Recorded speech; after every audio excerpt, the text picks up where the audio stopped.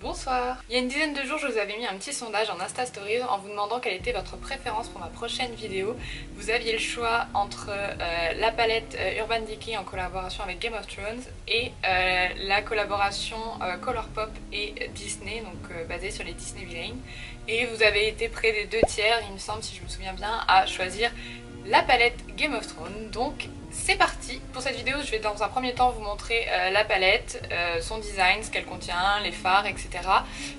et euh, je vais vous proposer 4 looks que j'ai réalisés uniquement en utilisant les couleurs de la palette. Donc voilà, j'espère que ça vous plaira. On commence tout de suite. Donc voilà la bête. la première chose qu'on remarque, c'est quand même qu'elle est assez imposante. Hein. ça, c'est une, palette Urban Decay standard, on va dire. Donc vous voyez qu'il y a une différence de taille claire et nette. Ensuite, au niveau du design, euh, c'est vraiment une palette qui a été énormément travaillée, ça se voit. Euh, c'est une palette, euh, c'est pas le genre de palette que j'ai envie de ranger moi dans un tiroir avec le reste de mes palettes, c'est vraiment une palette que j'ai envie de poser sur une étagère en élément de déco parce que pour moi c'est vraiment un élément de déco à part entière euh, les détails sont incroyables. Euh, là, euh, on s'en rend pas forcément compte, mais certaines des épées ici sont en relief. tout ça, avec les écritures, c'est en relief également. sur le côté, on a une petite tranche où on retrouve la carte de Westeros. sur la tranche de l'autre côté, quand on la regarde comme ça, on dirait clairement un livre qu'on pourrait mettre dans une bibliothèque. J'ai par exemple même d'ailleurs mon livre juste là. Et euh, clairement, euh, les deux l'un à côté de l'autre dans ma bibliothèque, euh, ça me choquerait pas. Hein. Et comme je viens de le dire, elle fait énormément penser à un livre, donc bien entendu elle s'ouvre comme un livre. Hop, comme ceci. Sur la partie gauche, vous avez un grand miroir. Et sur la partie droite, vous avez à nouveau la carte de Westeros, donc qui continue sur la tranche. Et vous avez ici une citation de Daenerys et donc en dessous de cette citation, on a euh, une, petite, euh, une petite trappe. Et là, c'est vraiment euh, la partie la plus... à la fois la plus inutile et à la fois la plus belle de la palette, je trouve, au-delà des, des, phares qui sont à l'intérieur, hein, bien sûr, mais je parle du design. c'est vraiment le petit détail qui fait tout. Je pense que tout le monde l'a déjà vu, mais voilà. Donc on a, je sais pas si vous voyez bien, mais on a euh, le trône de fer carrément à, l'intérieur de la palette. Je trouve ça, ça sert à rien fondamentalement, hein, mais je trouve que c'est une super bonne idée pour tous ceux qui sont fans de la série d'avoir fait ça. C'est un petit clin d'œil, franchement je trouve ça super, super cool. Et euh, juste en dessous on a euh, donc à nouveau une citation, donc c'est un peu difficile à tenir, mais juste là dans le petit encadré argenté, qui est une citation de Tyrion Lannister. Et quand j'ai vu qu'il y avait ces deux citations euh, sur la palette, j'étais trop trop heureuse parce que en fait euh, Tyrion et Daenerys, ce sont mes deux personnages favoris de la série. D'ailleurs, euh, dites-moi quels sont les personnages que vous préférez dans la série, ceux que vous aimez pas, ceux que tout le monde aime mais que vous, vous n'aimez pas. Moi par exemple, je déteste Jon Snow, voilà. Je sais que ça choque en général quand je dis ça et que certainement la plupart d'entre vous vont partir de cette vidéo, mais c'est un fait, je n'aime pas Jon Snow, c'est comme ça, voilà, c'est dit, on peut continuer. Donc, je reviens sur la tranche de la palette, donc on a ici euh, une petite languette qui ouvre un tiroir et donc c'est là qu'il y a euh, la palette en elle-même avec les couleurs. Et donc la palette s'ouvre comme ceci en tirant tout simplement sur la languette pour sortir le tiroir. Alors c'est pas super super évident à sortir, franchement, il y, a plus, pratique, hein, clairement. Euh, les palettes qu'on a juste à ouvrir comme ça, c'est beaucoup plus simple. Mais bon, c'était voilà, c'est une édition limitée, c'est encore, je le dis encore une fois, mais c'est un objet de collection. Donc euh, il fallait un petit peu, euh, il pouvait se permettre en fait de faire des choses un peu moins, pratiques. Bref, j'arrête de bavarder et je vais sortir la palette pour que vous puissiez la voir. Je vous l'avais dit, c'est la galère. Voilà. Voici donc la palette en elle-même. Donc on a 20 euh, fards, donc 16 euh, petits qui sont sous forme de carré ici. Et on en a euh, 4 plus gros ici qui sont sous forme ronde et qui pour moi peuvent être utilisés tant en fard à paupières qu'en highlighter. Je trouve qu'ils passent bien pour faire les deux. Hum, sauf peut-être la couleur Winterfell juste ici parce que la poudre est assez épaisse et c'est pas forcément joli en highlighter d'avoir des des grosses particules de poudre sur le visage, mais bon après c'est ça dépend de chacun. La palette est donc divisée en 4 parties. qui, sont, qui représentent chacune 4 grands thèmes qu'on peut retrouver dans Game of Thrones, notamment dans la dernière saison. dans chaque partie, on retrouve 4 petits phares entre guillemets au format carré et un grand en format rond. Donc tout en haut on a euh, la partie la plus au nord, donc euh, tout ce qui est au-delà du mur avec des tons bleus et très froids. On a euh, la couleur Take the Black qui est un noir pailleté, on a White Walker qui est un bleu bébé givré qui est vraiment superbe. Il paye pas de mine comme ça sur la palette mais une fois swatché il est magnifique. On a Frozen North qui est un bleu un peu plus soutenu, toujours pailleté. Free Folk et Hard Home. Ensuite, on a la partie euh, Winterfell, donc avec la couleur Nimeria, qui est un mat. Winter is Here. Wild World Leaves, qui est super joli. The Sight, qui est un vert émeraude absolument magnifique. Livia, si tu passes par là, tu vas être heureuse de m'entendre dire ça. Et enfin, euh, la couleur Winterfell. Ensuite, on passe à la partie King's Landing, qui est euh, dans les tons plus chauds, avec Red Keep, qui est un beau rouille, Casterly Rock, House Lannister, qui est un mat, Red Lannister, qui est également un mat, et enfin King's Landing. Et enfin, on passe à euh, ma partie préférée de cette palette, donc la partie Daenerys, avec la couleur Stormbound, qui est un très beau euh, violet pailleté, vraiment splendide. On a ensuite House puis Dothraki. Ensuite on a, alors clairement, ma couleur préférée de la palette, mais ça euh, c'est pas une grande surprise pour ceux qui me connaissent. Ben Denis, qui est un violet pâle, euh, irisé avec des sous-tons bleus. Il a un petit côté holographique que j'adore. Et enfin on a Bay of Dragon, qui est un rose pailleté qui me paraît un petit peu faible en pigmentation, mais on verra ça. Donc voilà pour la palette, on a clairement euh, quelque chose de très varié. On peut faire autant euh, des make-up froids, des make-up chauds, des choses colorées, des choses un peu plus sombres, des choses lumineuses. Enfin, il y a vraiment un petit peu de tout. Il y a de quoi s'amuser pour ceux qui aiment jouer avec le make-up. Après, moi, ce qui me gêne un peu, c'est qu'il n'y a que trois formats et donc du coup forcément il n'y en a même pas un par partie mais il y en a euh, carrément deux euh, dans la partie euh, Lannister donc je trouve ça un peu dommage sachant enfin après c'est purement personnel mais moi je sais que quand je me maquille j'aime bien mélanger les matières mates et les matières pailletées, irisées etc donc c'est vrai que quand j'ai vu ça ça m'a un petit peu un petit peu gênée mais après il euh, y, a moyen quand même de faire quelque chose. Euh, je veux dire, les, les phares sont, tous très jolis.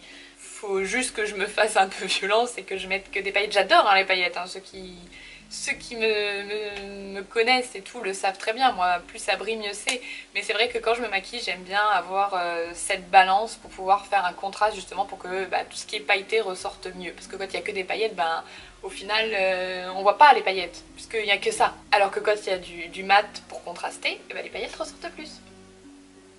Donc voilà, on va passer maintenant euh, au look. Donc comme je l'ai dit en début de vidéo, il y en a 4. Donc euh, tout bêtement, euh, j'ai fait un look par, euh, thème, par, par catégorie. j'ai voulu à chaque fois utiliser tous les fards de chaque partie pour un make-up. Donc je vous laisse avec la suite et j'espère que ça vous plaira.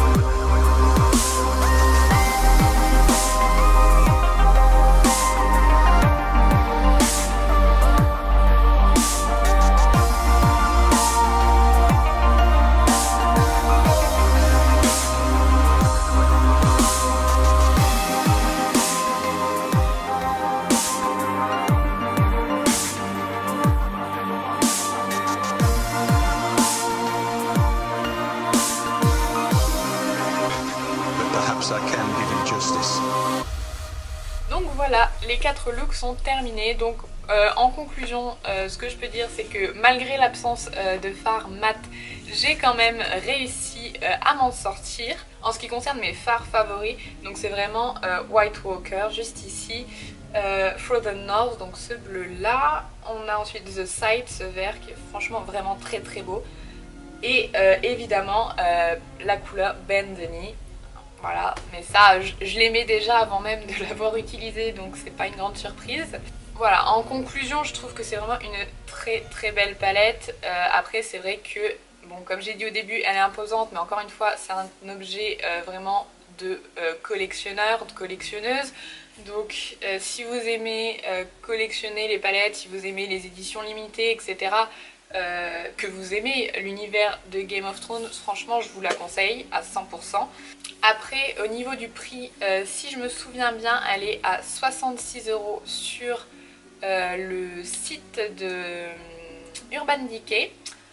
Et il me semble que c'est 66 euros également sur le site de Sephora. Moi, je l'ai acheté sur le site Urban Decay, puisque c'est là qu'ils sont sortis en premier. Mais euh, je l'ai pas payé euh, 66 euros, je l'ai payé que 50 euros à peu près, il me semble, petit peu plus, 50 euros et quelques centimes, enfin quelque chose comme ça, euh, en cumulant euh, code promo et euh, cashback iGral. Donc pour ceux qui connaissent pas euh, c'est un, site qui vous permet d'avoir du cashback. donc d'être remboursé d'une partie de ce que vous dépensez sur certains sites internet donc ils sont partenaires d'énormément de sites, hein, notamment Sephora, Asos, Boo, Pretty Little Thing, la Fnac, Amazon, je suis pas sûre mais il me semble, et euh, notamment le site Urban Decay, mais il y a vraiment euh, une ribambelle de sites internet euh, qui sont, avec qui ils sont en collaboration. Donc il y a de quoi faire des économies. Il y a même la SNCF, alors ça c'est génial. Donc voilà, c'est quand même un petit investissement, c'est certain. Mais moi je regrette absolument pas. Je suis fan de maquillage, je suis fan de Game of Thrones, donc forcément quand les deux s'associent, j'étais obligée. Voilà, c'est-à-dire que euh, Urban Decay avait annoncé qu'ils allaient faire une collection en collaboration avec Game of Thrones. On savait même pas encore qu'il allait avoir une palette, on savait même pas encore ce qu'il allait avoir dedans. Que moi je savais déjà que j'allais craquer. Je me connais, je suis faible face à ça. Donc je le savais que j'allais me retrouver avec quelque chose de la collection. Mais quand j'ai vu la palette, je me suis dit, ah ouais, non, non il, il- il me la faut. C'est c'est- comme ça. Je, peux pas, peux pas passer à côté de ça. Mais après c'est clair que j'aurais adoré avoir le le coffret en entier avec les rouges à lèvres, euh, les crayons, etc. Mais euh, bon, euh, un, c'était clairement pas dans mon budget. Et deux, non, deux, j'ai pas d'autre excuse, c'était juste pas dans mon budget. Sinon, je l'aurais. J'aurais bien aimé quand même avoir la palette d'highlighter, mais bon, quand je suis arrivée, il était déjà trop tard, elle était plus là. Donc tant pis, et puis au final, je me suis dit que c'était pas, pas nécessaire. Je préfère avoir cette palette là. Dites-moi en commentaire euh, quel look vous avez préféré sur euh, les quatre. Moi très honnêtement au début je pensais que ça allait être le premier, le bleu et puis quand je suis passée au, quatrième et que j'ai mis euh, le violet, là je me suis dit ouais non c'est ça. C'est vraiment les, couleurs que j'adore donc voilà, Dites-moi aussi ce que vous pensez de la palette, euh, quels sont les fards que vous aimez, ceux que vous aimez moins, euh, est-ce que vous pensez l'acheter, est-ce que vous l'avez déjà acheté, si vous la trouvez belle ou non, etc. Et puis euh, j'ai envie de discuter un petit peu avec vous en commentaire, donc euh, dites-moi euh, si vous aimez Game of Thrones, si vous regardez ou non, euh, quels sont vos personnages préférés, ceux que vous n'aimez pas, vos théories sur la fin de la série aussi, parce que là on est clairement en plein dedans. Hein. Par contre évitez les spoils, ou alors si vraiment vous voulez parler de quelque chose qui a un risque de spoiler quelqu'un, mettez en lettres majuscules spoiler au début de votre commentaire, comme ça les personnes qui parcourront les commentaires sauront qu'elles ne doivent pas le lire si elles ne veulent pas être spoilées. Après si elles le lisent, bon bah voilà, tant pis, mais au moins elles auront été prévenues. Je vous laisse à nouveau mon Instagram juste ici, comme ça vous pouvez aller m'y suivre et vous pourrez participer au prochain sondage que je ferai pour choisir le thème de ma future vidéo, si vous le souhaitez. N'hésitez pas non plus à partager ma vidéo sur vos réseaux sociaux si le cœur vous en dit, et puis moi je vous laisse et je vous dis à bientôt dans une prochaine vidéo.